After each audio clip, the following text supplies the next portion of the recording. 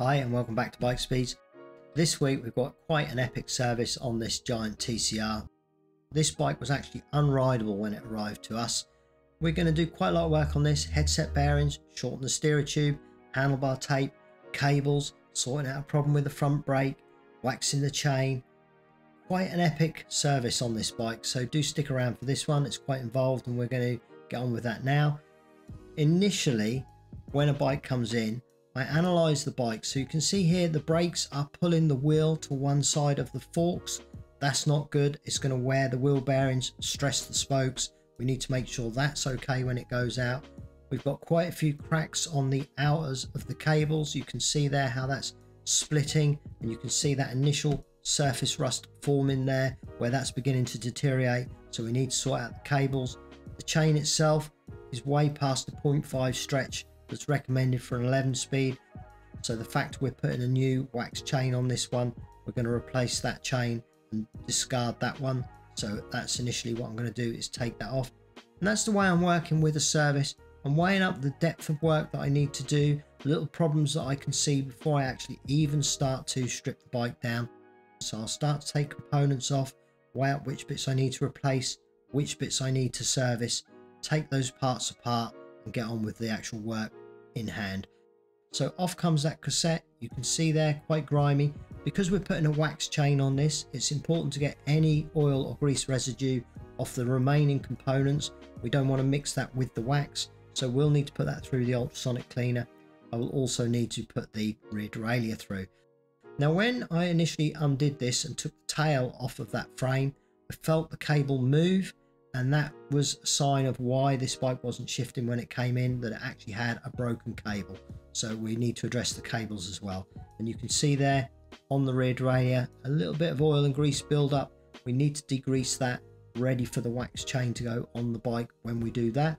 Off comes the front derailleur. Again you can see there's a little bit of oil residue on the back plate there. It's very dry as well. You can see there's no lubrication on that. We need to clean it up and lubricate it Now you can hear there quite clearly the bottom bracket bearings have had it. So again, as I'm stripping the bike down, I'm listening for sounds, feeling parts, and I know with this we need to change the bearings. We also had a problem with this left-hand pedal arm, which I'll show you along the way. But initially, we're taking everything apart there. So we'll tap out that chain set was a little bit stiff in there. You can see it's got a thickening oil on the shaft which was actually holding that into the bearings. So we will clean that up at the same time as doing the other components. And now I'm going to remove the bottom bracket bearing. So I put my extractor into there and we extract it out one side at a time. So out comes the drive side cup and bearing. And now I can remove the non-drive side cup and bearing. I'm going to take these out before I clean the frame down. It will actually help me with the cable routing for the cables as well to be able to get into that bottom bracket area and also check that that is within tolerances and ready for a new bottom bracket. Now I'm taking off the bottle cages. This is actually a full service where we're also going to detail the frame and ceramic coat it so we'll take out all the bottle cages and lubricate the threads of those at the same time as the service. Remove the back brake we're replacing that back brake cable so we can remove everything off of here and get that all cleaned up. And off comes the front brake as well. So I'm not worried about the tails on the cables because we are replacing all the cables on this bike. So we can just cut those off and get those off of the component as I'm taking it apart. Now with the front brake I noticed here there should be a lock nut on the back of that thread there. You can see there it's fitted and on the right hand one there it's missing that will gradually unwind, that brake will fall apart or cause an erratic brake, strange feel to the braking, so we need to put a new lock nut on there when we service that component. Now I'm putting a cable guide on this cable. Although I was aware it was broken, I wasn't sure at what point within the frame it was broken, but in this case, we were able to get it right through to the handlebars, so that was all good. So out come the tails, put a little cable guide onto that rear brake cable there, get that through the frame, feed it through. I leave a guide in there helps me to rebuild the bike when I'm actually putting everything back together. And we're also going to pop out the handlebar tape and replace the outers right up to the shifters themselves. this bike had actually been tipped over or leant over at some point and had damage on the bar tape in multiple places. Then I removed the tape which held the cables together. As you can see underneath it was blue which wasn't a problem, it's just a fun unexpected detail. Now I'm able to get to the cables. So out comes the brake cable there, outers off the bike, we'll cut new ones of those, put new outers onto the bike, new cables into the bike and everything will be absolutely perfect when it leaves the shop. Now you can hear here, we've also got the headset bearings, very very tired and worn. The customer did ask us to shorten the steerer tube on this one, so everything is coming off this front end. We're going to remove these spacers. He's obviously now happy with his ride height. He's quite a competitive rider, this chap, and he's actually quite young and agile, so he can sustain this very aero position during a race and during his training. So we're shortening the steerer tube to accommodate that new position. So out come the forks themselves from the bearings. We are going to replace those because of the wear that's involved in there. Out come the bearings now. Now you can already see there's a little bit of corrosion in the cups which we'll need to clean and you can see there on the bearings quite a bit of corrosion around the top edges of that. They've started to go rusty. The ball bearings inside the races have started to rust and that rust is seeping out of the seals around the actual cups themselves. So they are life extinct and we'll remove those and get new ones in there. Next up, I'm going to address this steerer tube that he wanted shortening. This is definitely one for your local bike shop. We have a jig as I'm using there. We have a special carbon blade. Everything there is absolutely spot on as it's shortened. It's quite a, a risky maneuver because if you get that wrong, you can literally write your bike off if you get that measurement incorrect. So that is definitely one for your local bike shop and something that we were doing during this service. Again, everything has its torque settings, so I torque that expansion compression joint up. And then I'm also going to clean the steerer tube itself and clean out the bearing cups. Make sure that everything there is nice, all the grit is out, all the old greases and residue is out of there so that it's as fresh as the day it left the factory. And now I am going to put a little bit of grease in the cups. These bearings, you can see they drop into those cups. They're not a compression or press fit into the cup itself. They're quite loose fitting. They have a fitting at the top that puts the pre-tension onto the bearing, which does mean you can get the slightest amount of movement on the bearings as everything is seating together. And the grease will just help everything seat into its position, stop any creaking, groaning, noises. Once the bike is put back together, um, everything there will be absolutely spot on. So we put on the various rings and fittings to get that to be able to be pre-tensioned. On goes the stem, on goes the pre-tensioner, the cap of the bearing itself, and we can just get that in its final position. And you can see there, they're flowing beautifully. This bike will be a much, much smoother ride. It will centralize itself much, much smoother on the road. It won't tram or try to veer off. It will run quite nicely. Now I'm going to wash the bike down. So I start with a snow foam to loosen the dirt. This was quite a tricky frame. It's a matte frame, so you can end up with residue and watermarks, fingerprints, and they're always, always very tricky matte frames to really get them looking nice.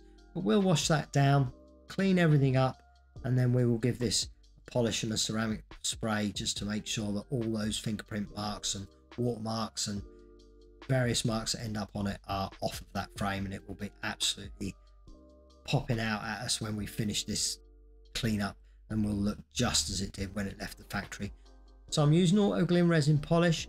With matte frames, I always recommend using this in a small area first, maybe at the bottom of the bottom bracket to make sure that your paint or finish will sustain this polish without actually shining the bike up. This is a matte satin finish on this bike and it's actually gel coated so it doesn't actually affect the final finish of the bike but it will draw out all those marks and any debris and dirt that's on the bike will lift off with this polish. So that's why we are doing this one with polish because it won't actually shine the bike. It will clean off all those marks nicely without putting a shine on the bike. So we're using microfiber towels to polish that down. Quite happy now with the way that's coming along. I can see all the little marks disappearing. Very, very pleased with that. And then I'm going to ceramic spray this frame as well.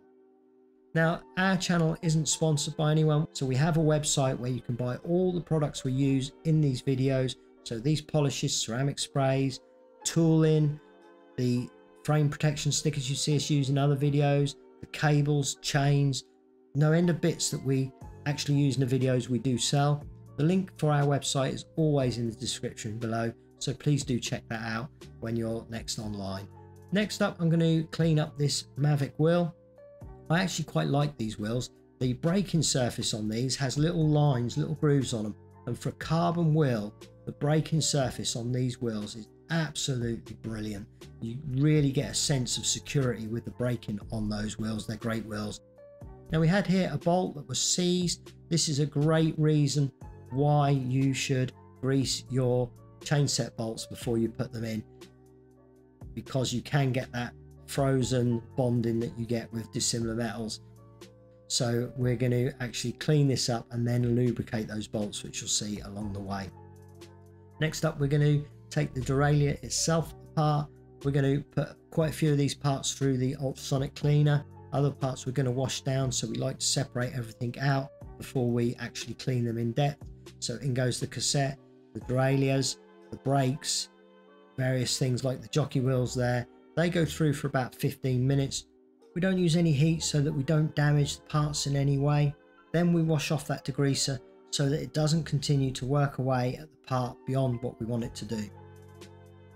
Then we dry these down, we blow them out with an airline, do various different things to make sure these are absolutely dry as can be once they are washed off before we re-lubricate them. So all these are the bits that have come out of the ultrasonic cleaner that we're just washing down now. We're using one of our detailing brushes there. Again, they're available on our website as I mentioned before. A lot of these things we use in the video. If it's something you like there, do check that out. Next up, we're cleaning down the chain set and the big and small rings there to make sure everything there is nice and in-depth clean. Now this was an issue we had with the left-hand pedal arm. They have this safety plate between the bolts. Should have that little peg there in the middle. On the right-hand one there that came off the bike, that's missing. And on the left-hand one there, it's a new plate that we're going to put in. So we'll pop that in. That shows that if everything else fails, like your bolts on the pedal and the tensioner fail, you've got that peg to stop that arm coming off. So that's a very important safety feature and that was missing on this bike. Now I'm just going to begin to lubricate everything. So I always like to lubricate the arms of these just to make sure that those chain rings will separate again next time I service the bike. It just helps the bonding of the materials together and we've also lubricated the bolts as well. So they'll go in so I know next time I service this chain set I will have no problem getting it apart. I'll have no problem getting it together and everything will clean up nicely next time. Once that's together, I'll torque that up. I torque this up before I put it on the bike because front derailleurs are a left-right action. So we want everything tight and where it needs to be to make sure that our adjustments are precise when we put that together. Jockey wheels being greased now, premium grease on those, on the pivots that go in the center there to make sure they're nice and then I'm using a Park Tool thread locker to hold the pivots of the derailleur jockey wheels in place in the cage of the derailleur. That way we won't have any of those coming loose on a ride and causing problems. You do see it occasionally, so we want to stop that happening. So that's absolutely spot on. And then I also lubricate the thumb adjusters using a little bit of our copper grease there on the thread and then general purpose grease on the actual thumb adjuster itself. These will often seize, so I do like to make sure all thumb adjusters on the bike are lubricated and that's just good practice for my servicing technique. I'm going to lubricate the spring, stop that corroding. They're very prone to corroding. You'll often see those where they're rusty. And then I'm just going to lubricate the pivot points on the derailleur itself with our general purpose oil. And I'm now quite happy with that and it's the same process on the front derailleur. So I'm lubricating the spring, lubricating the pivot points. I've had so many front derailleurs that don't shift at all and were completely seized that after a lubrication work perfectly. The oil makes a huge difference at fighting the corrosion build-up over time. Now I'm going to sort out this missing bolt on the front brake. So we just found a nice stainless steel matching thread bolt there to lock off and that now is safe and secure So that's a good thing that this bike has had the safety plate on the left hand pedal arm and that missing bolt on the safety lock nut on that front brake sorted out within this service. And now we're going to also lubricate up this brake. Quite happy there. And then of course you've got your skewers. They're very prone to going rusty inside your wheels. So whether it's a through axle or a skewer, you want to make sure that's lubricated. I've had quite a few through axles now seized in wheels and they are very, very tricky to get out. If they've been lubricated like this before they went in the bike, that problem wouldn't have happened. So it's good practice to sort those out as well. Now I'm going to wax the chain. This is going in M speed wax. I'll leave it in there for about a minute to make sure the wax gets complete contact with the chain. I then remove it and let it completely harden off for about 10 or 15 minutes. We can break that chain off to make sure that it's nice and flexible again. The wax seeps into the rollers of the chain. It's a great way of lubricating the chain. It's nice and dry. Then we dust the molybdenum and PTFE powder over the chain. This is supposed to give 6% less friction and it's 100% water resistant. So we coat the chain itself with a little bit of the end powder and we also do the actual cassette itself as well with this. The anti-corrosive properties stop the cassette from rusting so quickly, which is the main thing you're battling with chain waxing and just gives that nice finish to the wax process for us to present to the customer. And I will grease the hub itself to help again with future servicing to be able to get the cassette off of that hub next time. So on goes that lovely finished cassette, all degreased, nicely powdered, ready to go onto the bike. We will just torque up the lock ring there and that is now absolutely ready to go. Next up I'm going to start to recable the bike so we will start off with the gear cables. These are our super slick cables. These are a nice tightly wound stainless steel cable. I love these cables. They're absolutely great really. When you run your fingers along them they feel so smooth compared with most other cables and they really are a very very nice cable. Don't have any problem with these cables. They're great really. I'm going to also tape those onto the bars to get those in their final position so that when I feed them into the frame I can get everything in a nice position on the bike and make sure the lengths and everything are all okay and as I want them so that's what I'm going to do there before I actually put the bar tape on I'll just tighten those onto the handlebar there so that they are ready to go. First off I'm going to pop the rear brake cable through the frame. So that goes through. We've got those little frame fittings there that we need to tighten up before the cable goes in because then that would be in the way of tightening those up. So that's quite good there. And then the derailleur cables themselves front and rear. So that's the front one going in there. They have their own fitting on the frame which we need to get them into the inner housing for the cables was nice and free no blockages which is good news. And I will then just use a cable guide to get the final one in through the bottom of the chainstay there and out of the back of the bike into the rear derailleur. A little bit of outer for the rear derailleur there as well so that's good. And then we're going to press in our bottom bracket. Now this press that I've got here sits on the outer edge of the actual cup of the bearing so it's not actually pressing the bearings it's pressing the cup itself into the frame. So there's no chance or risk of damaging those brand new bearings and they go in there absolutely spot on and lovely.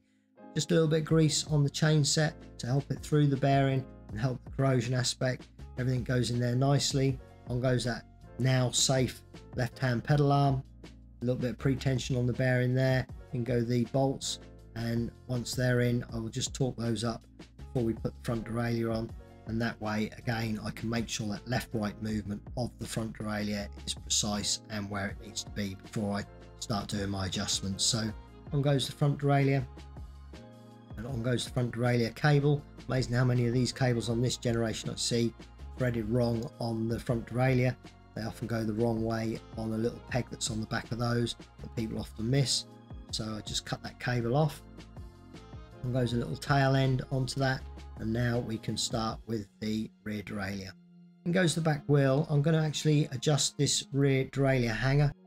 So I've put that in there now and I just use the rim of the wheel to get that square. It was a little bit bent. It wasn't quite right so we checked it across four points on the rim. Got that absolutely spot on before we fitted the rear derailleur. Happy that that's square now, so I will remove the tool and then the wheel and carry on with fitting the derailleur.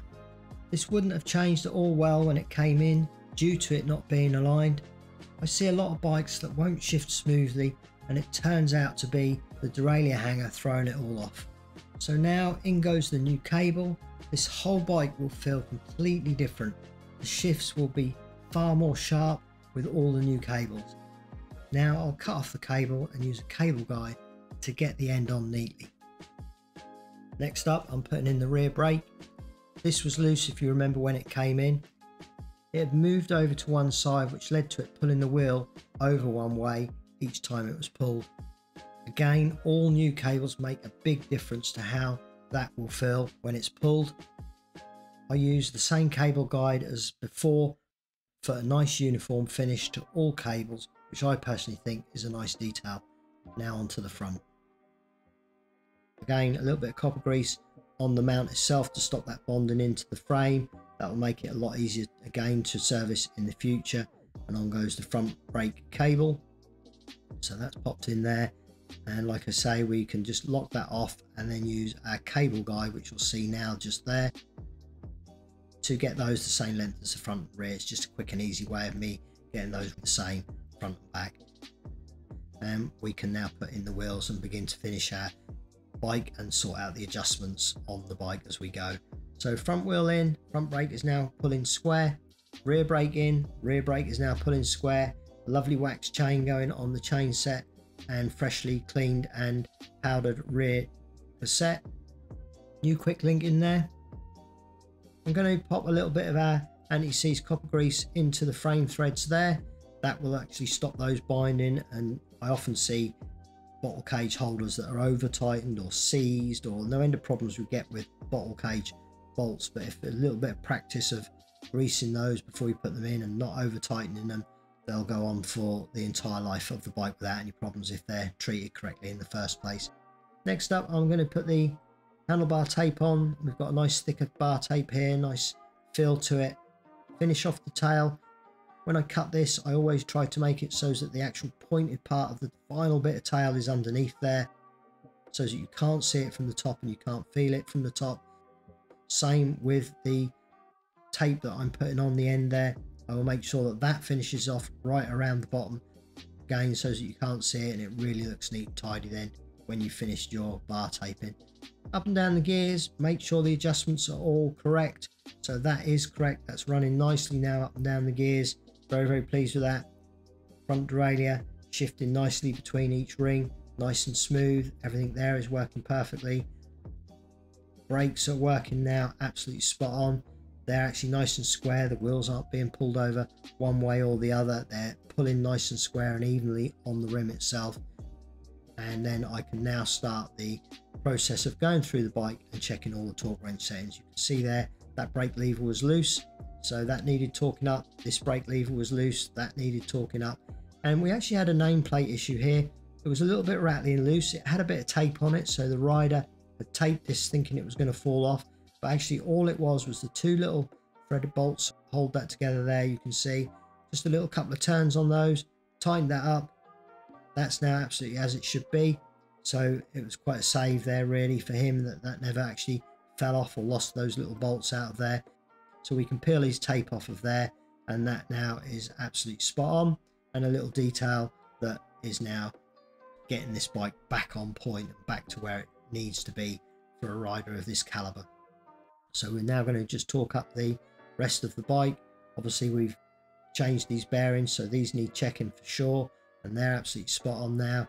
We can check the pinch bolts for the brakes, the brake pads themselves. Torquing that mount so it doesn't come loose like the rear. Onto the seat post bolt which was very loose. That was very dangerous and over time could have been an accident waiting to happen. The saddle clamp was also loose which could have ended up a similar accident but they've both been torqued up, safe, which is good. The same drill with the rear brake, I torque the pads so that they don't move on the rims, which again is a common fault I see. So that's everything safe and secure, completely adjusted and working perfectly. And finally, the rear derailleur. First we do the mount, then the pinch bolt. We're really, really happy with this bike. It's really looking nice. The paint came up lovely. All the components came up nice. Everything is working as it should. So I'm very, very happy with this bike. I hope you've enjoyed this video. If you have, please do subscribe to the channel. Please do like the video. Do drop a comment below and we'll see you again very, very soon. Bye for now.